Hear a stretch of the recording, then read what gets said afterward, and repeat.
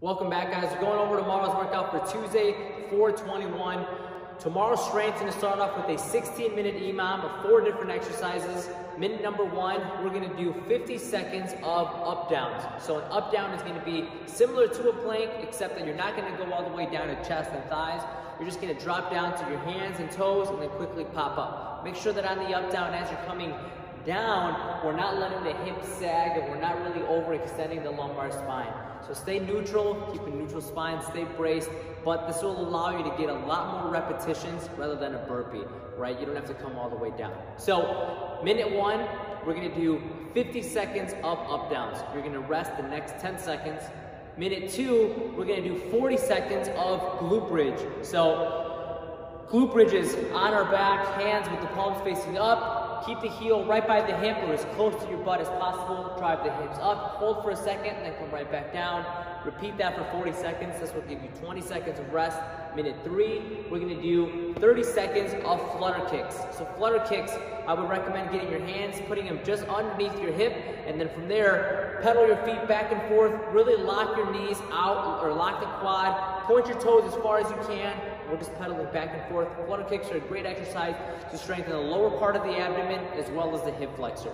Now in the last minute, minute number four, we're gonna do 20 seconds of either squat jumps or if the high impact exercise is not gonna do you any, any uh, benefit, then feel free to just do regular air squats. But the last one will just work for 20 seconds.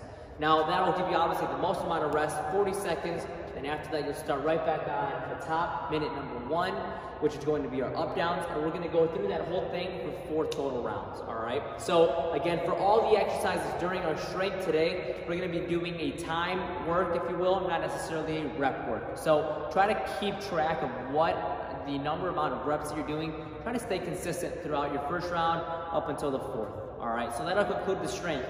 Now, the conditioning today, it's gonna be a 20 minute clock and you're gonna work every two minutes, all right? So starting off on three, two, one, go, or on zero, you're gonna be doing a complex either with a dumbbell or a kettlebell. We're gonna start off by doing eight single arm thrusters. Again, dumbbell or kettlebell. This will be total. So if you wanna split it up, four on the right, four on the left, or what I would just recommend is alternate every other round four, or sorry, eight total on my right side. Next time I come around, eight on the left.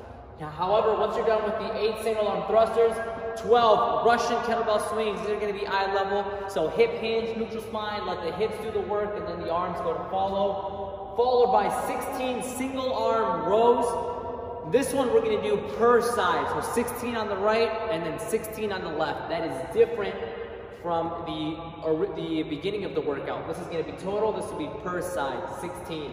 So that can add up to a lot relatively quickly. And the last thing we're gonna do is 20 goblet squats.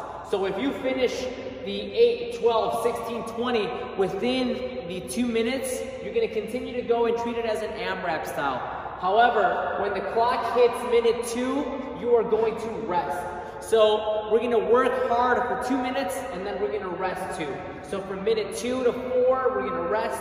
From minute four to six, we're gonna work, going back and forth. So two minutes on, two minutes off of the complex up until uh, essentially the end of the 18th minute. At the 18th minute, then you are resting and then the workout will be done. All right, so two minutes on, two minutes off. One thing to keep in mind, there, there may be a time where you finish off the two minute uh, working window and you're not completely done with the full round, pick up right where you left off, all right? So if you were able to get through your 16 single arm rows on the right but not on the left and the time is done on the next um, starting minute, let's just say it was minute eight, then pick up on the left, finish your 16 rows, and then finish off the, continue to finish off the round by doing the goblet squats, going right back into the beginning, all right? Now, for warm up, there's going to be an A and B portion, just consisting of 10 minutes. Number one, going outside for a jog or a walk. The weather should be relatively nice, so go out, get some sun. Five minutes of a jog or walk. After that, come back inside, just a five minute full body foam roll. I would emphasize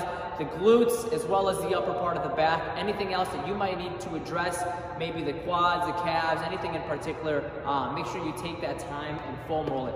Other than that, that'll conclude the whiteboard talk for tomorrow's workout, Tuesday the 21st. Hopefully you guys enjoy the workout, have a wonderful day, and then go get after it. Take care.